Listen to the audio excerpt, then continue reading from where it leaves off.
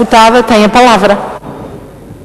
Muito obrigada, Sra. Presidente, Srs. Secretários, Sra. e Sra. Secretária de Estado, Senhoras e Srs. Deputados.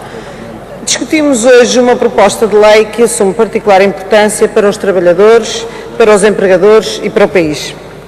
A promoção das condições de trabalho e a prevenção dos riscos profissionais é, com efeito, uma questão que diz respeito a todos e, muito em particular, àqueles que no seu dia a dia desenvolvem atividades profissionais neste domínio, como é o caso dos técnicos de higiene e segurança no trabalho.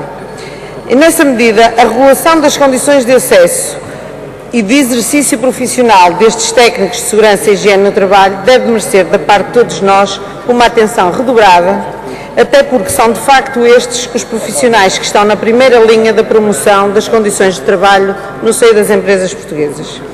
O Partido Socialista entende, por isso, que esta é uma matéria que deve colher um alargado consenso, nomeadamente por parte dos parceiros sociais, e assentar em soluções normativas que se revelem justas, equilibradas e adequadas, atentos aos interesses em presença.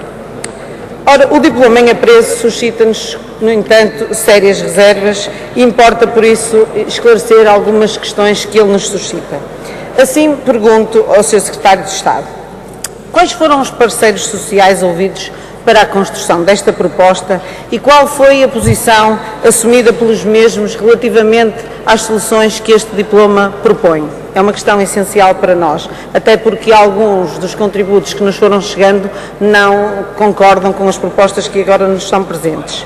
Por outro lado, não considera o Sr. Secretário de Estado que esta proposta, na forma como trata o regime de acesso, certificação e fiscalização do exercício dos profissionais de higiene e segurança no trabalho, contribui ou pode contribuir para afastar a autoridade das condições de trabalho daquele que deve ser o seu principal papel, a sua função, que é de fiscalização das condições de trabalho, substituindo as suas tarefas por outras de género mais administrativo, são essenciais estas questões e o seu esclarecimento será importante para que nós possamos decidir a nossa posição quanto à proposta de lei agora em apreço. Isso.